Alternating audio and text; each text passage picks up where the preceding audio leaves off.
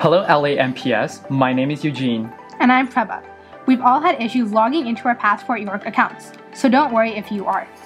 We are here to guide you through the most common login issues students face. That includes how to reset your Passport York and enhance the security of your York University account. Whether you are a first year student or simply needed a quick refresher, we have got you covered with a step by step guide. Here we go!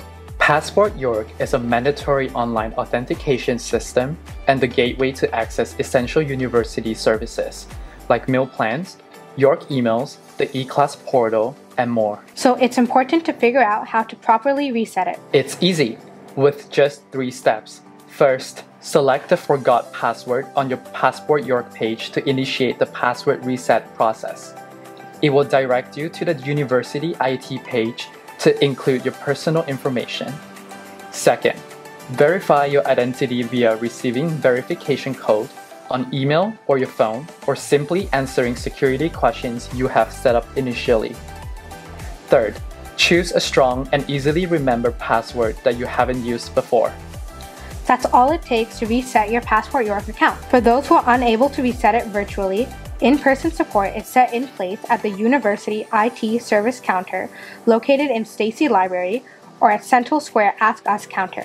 Remember to bring your student ID to begin the process. For extra login security, York uses two-factor authentication to protect your digital accounts. To set this up, enable the Duo Mobile system.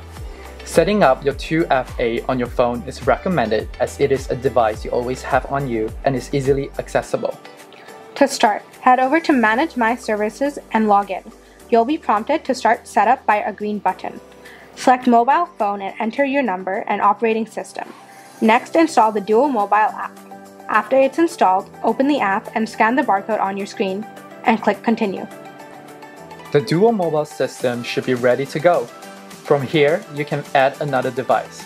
Having multiple devices is recommended in case one device is unavailable for any reason. You don't want to be locked out on your account, unable to access your class website or coursework. See the link in the description for setting up additional devices. For further assistance, contact IT services by emailing askit at yorku.ca.